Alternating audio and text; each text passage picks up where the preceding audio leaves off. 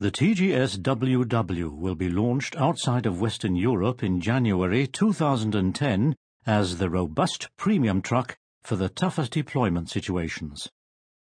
This truck evolved from the TGA WW series, known for being sturdy and reliable, that was successfully introduced in 2002. In addition to the axles and the frame, the driveline with engines from the D20 and D26 series and the deployment-specific additional equipment originate from the TGA WW. Consistently efficient. The main goal of MAN engineers was to reduce fuel consumption and CO2 emissions and guarantee the highest levels of quality and reliability in the world for customers. To meet this goal, the cab from the TGS series which is the most advanced cab with its optimized driver's workplace and has won numerous awards, including Truck of the Year in 2007, was combined with the robust and proven TGA chassis.